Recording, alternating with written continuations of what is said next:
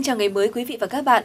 Thưa quý vị, nắng nhiều và nắng nóng vẫn là thời tiết chủ đạo trong hôm nay ở khu vực miền Bắc và cả miền Trung. Cảm giác oi nóng hiện hữu từ sáng sớm cho tới tận chiều muộn. Với miền Bắc, nhiệt độ cao nhất hôm nay tại Trung Du và Đồng Bằng trong khoảng là 35 cho tới 37 độ, một số nơi còn có thể trên 37 độ. Khu vực Tây Bắc do có mưa rải rác về chiều tối nên nhiệt độ thấp hơn. Nhiệt định nắng nóng sẽ còn duy trì cho tới hết ngày 28 tháng 6. Thưa quý vị, tháng 6 là thời điểm mùa sen nở đẹp nhất ở các tỉnh thành miền Bắc. Vẻ đẹp tinh khôi, dung dị, nhẹ nhàng của hoa sen luôn khiến cho lòng người say đắm. Sen bãi đá sông Hồng nổi tiếng với búp sen to, cánh sen hồng đậm căng tràn sức sống. Bên cạnh đó thì sen của khu vực Hồ Tây Hà Nội cũng là một trong những địa điểm thu hút du khách. Cứ mỗi độ sen nở thì người Hà Thành và một số khu vực lân cận lại nô nức trong tà áo dài nhiều màu sắc, chụp ảnh kỷ niệm với loài hoa bình dị này.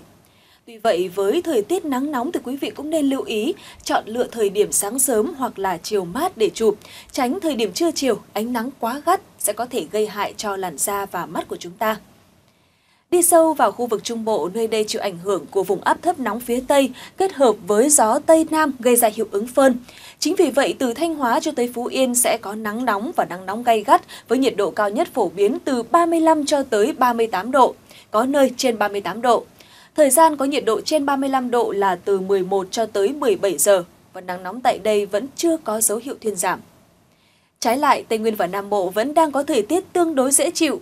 Ban ngày có nắng với nhiệt độ cao nhất ở Tây Nguyên từ 30 cho tới 33 độ và khoảng 31 đến 34 độ tại Nam Bộ. Mưa rông có thể xuất hiện về chiều tối do ảnh hưởng của gió mùa Tây Nam nhưng với lượng không nhiều. Trên biển, trên khu vực Bắc và giữa Biển Đông, bao gồm quần đảo Hoàng Sa, thịnh hành gió Nam đến Đông Nam với cường độ khoảng cấp 4, tầm nhìn xa thông thoáng. Còn khu vực Nam Biển Đông, bao gồm quần đảo Trường Sa, có gió Tây Nam ở mức cấp 4, cấp 5. Lưu ý khu vực này sẽ có mưa rào và rông về chiều tối, tầm nhìn xa chỉ từ 4 đến 10 km. Như vậy là hôm nay, Bắc Bộ và Trung Bộ duy trì nắng nóng, nắng nóng gay gắt.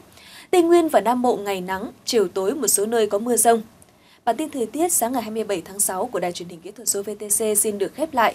Chúc quý vị có một tuần mới thật nhiều niềm vui. Xin kính chào tạm biệt và hẹn gặp lại.